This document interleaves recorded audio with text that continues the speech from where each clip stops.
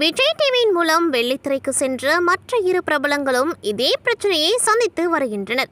அதாவது super singer நிகழ்ச்சியின் மூலம் பட்டி தொட்டி இயங்கும் பிரபலமானவர்கள் ராஜலக்ஷ்மி மற்றும் செந்தில். கிராமிய பாடல்கள் பாடி ரசிகர்களின் மனதில் இடம் பிடித்தனர். இதன் மூலம் வெள்ளித்திரையிலும் பல படங்களில் வாய்ப்பு கிடைத்து வருகிறது. அது மட்டுமின்றி செந்தில் ராஜலக்ஷ்மி இருவருமே பாடகர்கள் என்பதை தாண்டி சினிமாவில் நடிகர் நடிகைகளாக அவதாரம் எடுத்துள்ளனர். இதவர்களுக்கு எந்த அளவு ஒர்க் அவுட் ஆகும் என்பது சந்தேகம்தான். செந்தில் நடித்த ஒரு படம் படம் மோசமான தோல்வியை தழுவியிருந்தது. இந்நிலையில் சமீபத்தில் ஊடகம் ஒன்றில் ராஜலக்ஷ்மி பேட்டி கொடுத்திருந்தார். அதாவது பேட்டியாளர் உங்களது வளர்ச்சியை பார்த்து பலர் பொறாமைப்படும் அளவிற்கு இருப்பதாக பேசியிருந்தார். அதற்கு பதிலளித்த ராஜலக்ஷ்மி நாங்கள் இப்பொழுது கடனில் அவதிப்பட்டு வருவதாக கூறியிருக்கிறார்.